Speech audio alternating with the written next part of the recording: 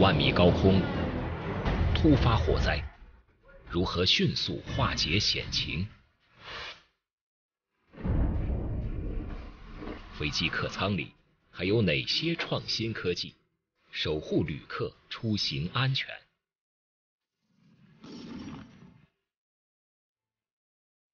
创新进行时，客舱安全管家即将播出。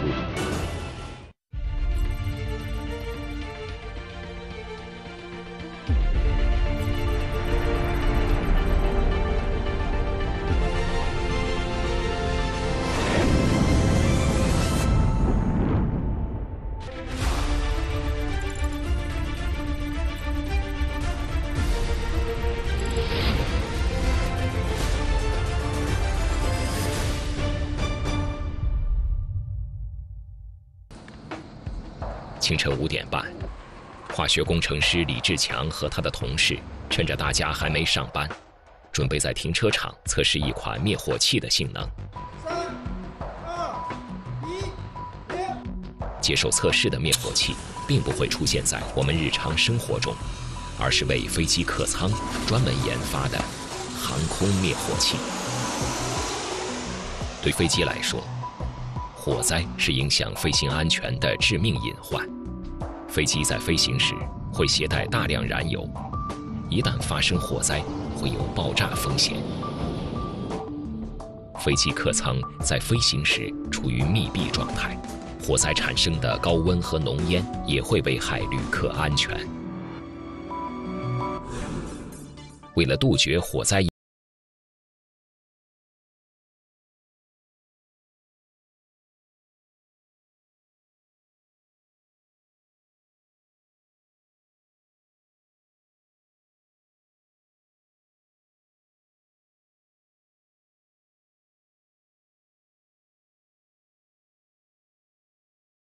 迅速扑灭火险。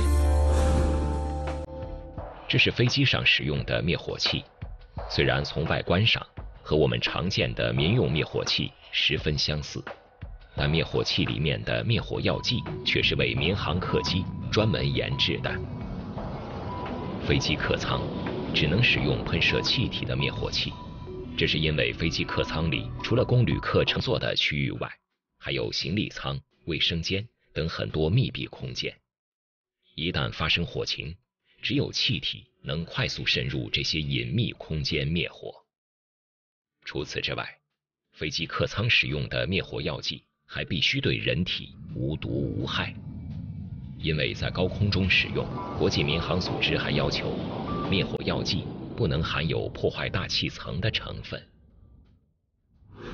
我们生活中常见的灭火器都无法达到飞机客舱使用的要求，只有少数几个国家有能力合成达到民航要求的灭火药剂。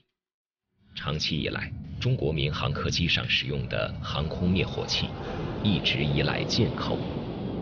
民航灭火器的一点七升左右的一个容积的一个灭火器，价格就是一万左右。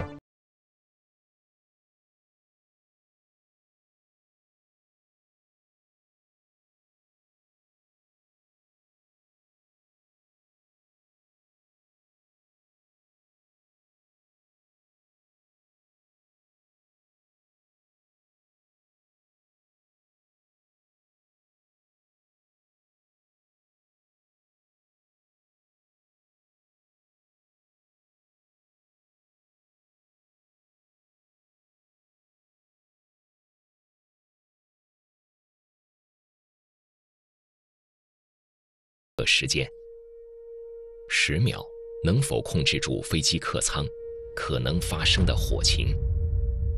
清晨五点半，工程师们趁着大家还没上班，准备在停车场模拟客舱起火的现场，验证他们研发的航空灭火器能否在十秒内灭火。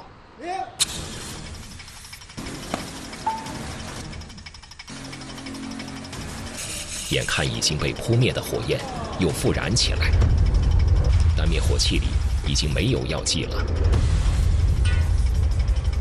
李志强他们赶紧用灭火毯灭掉越燃越烈的火势。像这样的航空灭火器，即使是全球最大客机 A380，客舱里灭火器配备的数量也不会超过十五个。如果在飞机飞行时出现火情，灭火器全都用完了，却还没扑灭明火，会危害旅客的人身安全。回到实验室，工程师仔细检查了实验数据。灭火药剂的性能指标完全符合民航要求。那问题究竟出在哪儿呢？经过仪器检测。灭火失败的原因被找到了。这种灭火药剂虽然性能强大，但它的化学成分不太稳定，放置时间一长，药剂里的灭火成分容易分解失效，从而影响灭火性能。但按照中国民用航空局的要求，航空灭火器保质期必须达到十年以上，才能在飞机上使用。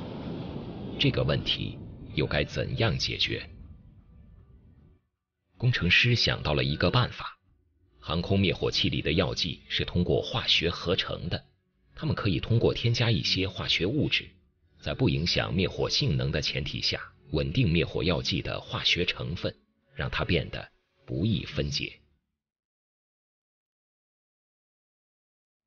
每添加一种新成分，李志强他们就要做很多次灭火试验。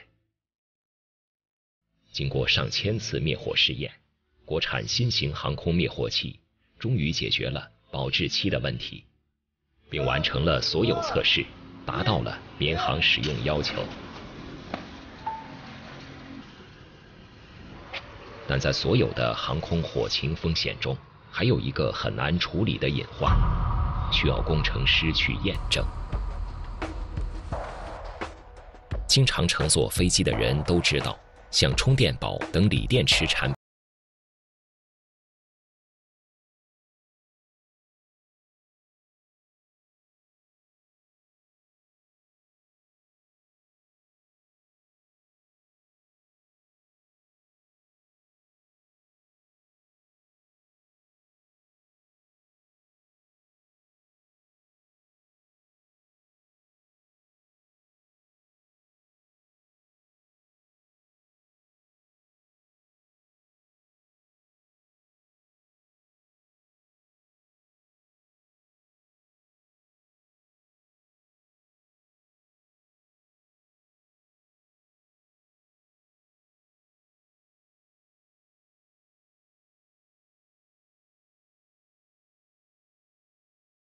明火，但锂电池的残骸突然又开始冒烟，这又是为什么呢？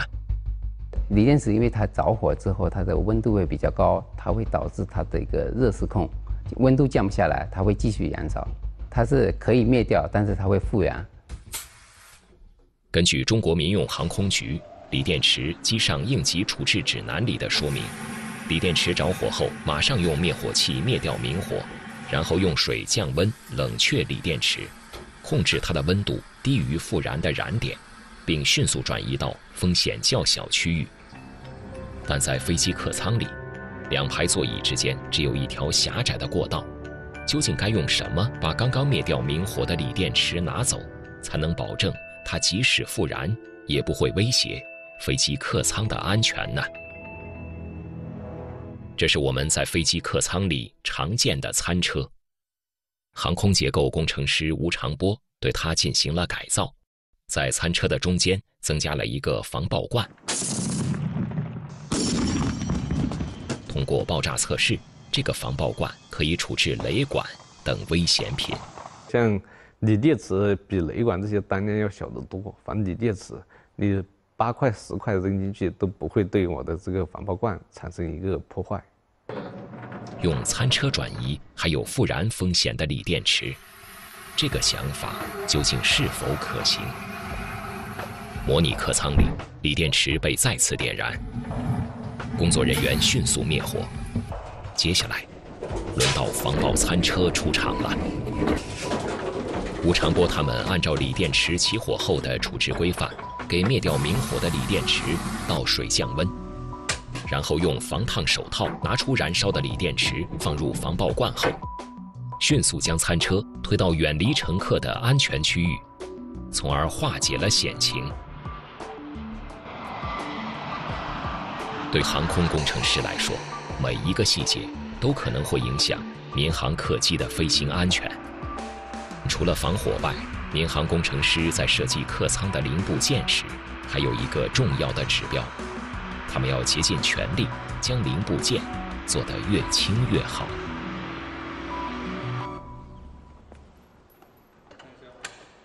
正在称重的这套航空座椅，是中国民航工程师研发的一款新型航空座椅。经过测算，新型航空座椅每一个座位。比民航客机上正在使用的传统座椅轻了三千克。我们经常乘坐的中型客机，一般会安装将近二百个座椅，仅此一项就能给飞机减重五百多千克，相当于七个成年人的体重。飞行它主要是克服的一个重力，它减轻了，它的动力会越强，它的飞行性能可能就就会更好。飞机座椅在整个客舱设设备里面，它基本上占了一半以上的重量，所以说飞机座椅的减重对整个飞机整个飞机体系的一个减重贡献是非常大的。新型航空座椅究竟依靠什么新科技，让它比传统座椅重量更轻？创新进行时，稍后继续。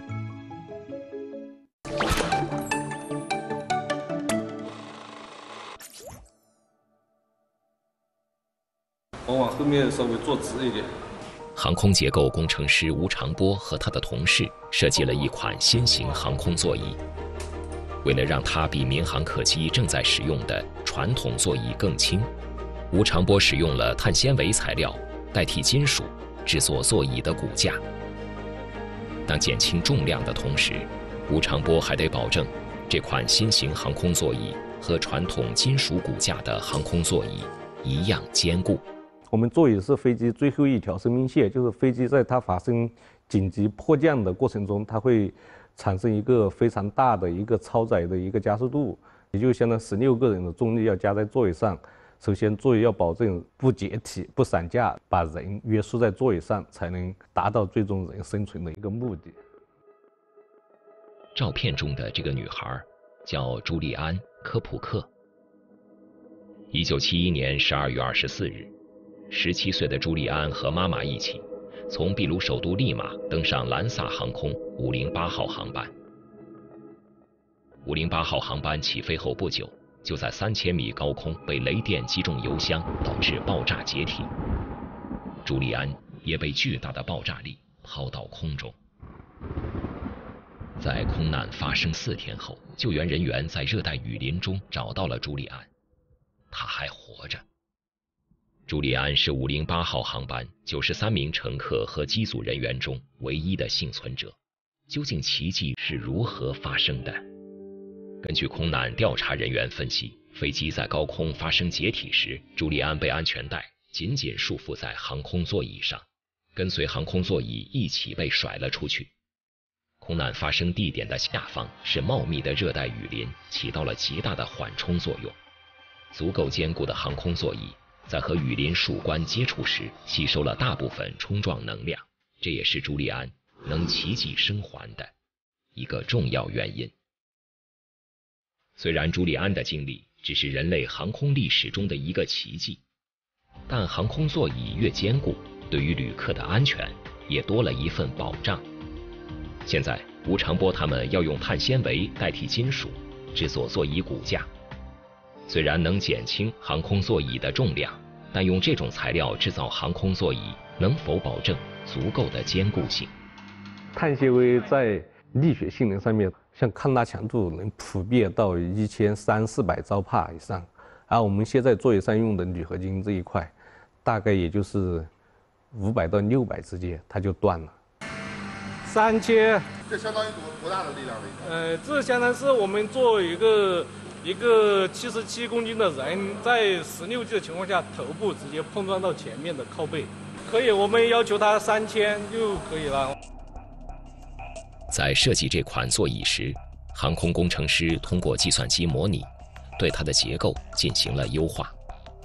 除此之外，航空工程师还得模拟最极端的环境，对它进行一系列极限试验，用试验数据检验它的安全性。这个座椅要往前移。这台机器上的三个液压臂将在十分钟内向座椅上施加相当于两辆家用轿车重量的压力。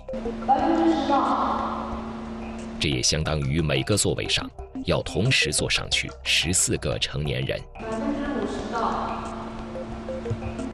百分之六十到。在这过程中，如果座椅发生哪怕一丝裂缝，说明他们的设计可能存在安全隐患，所有的设计也有可能要推翻重来。我们的试验除了第一次成功，我们都有必须的。第二次复合，第三次复合，我们成功一次也不能说保证第二次成功。越是期待，越是害怕。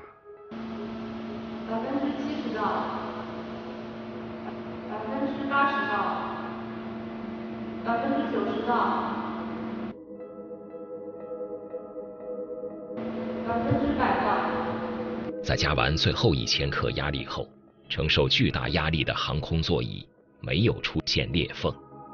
但压力测试并不是航空座椅的终极大考。接下来，这款航空座椅还要经历更加严酷的极限考验。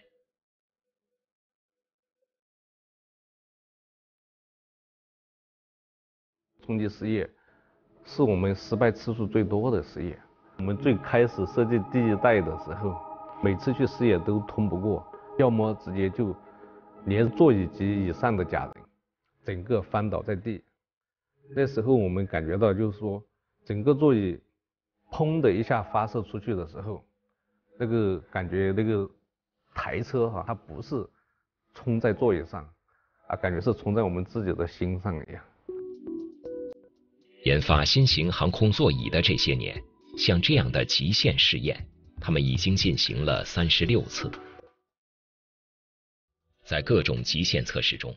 他们损坏了四十多套座椅，而得到的数据让他们又进行了二十多项优化创新，完成的最新一代样品终于通过了所有的极限考验。但国产航空座椅还不能马上装进飞机客舱，吴长波需要把所有数据汇总，再通过多个部门的逐一审核后，这款座椅。才能取得适航证书，陪伴旅客飞上蓝天。除了航空灭火器和航空座椅，在飞机客舱里还有哪些技术创新保障旅客出行安全？创新进行时，稍后继续。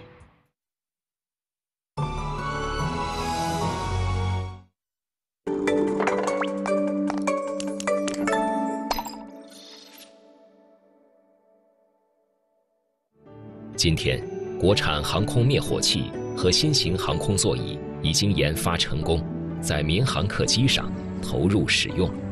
除了灭火器和座椅外，小到一瓶消毒剂，大到运输托运行李的航空集装箱，工程师对于每一个部件、每一处细节的创新改进，都会给旅客飞行安全增加一道保险，助力人类在蓝天上飞得更高。飞得更安全。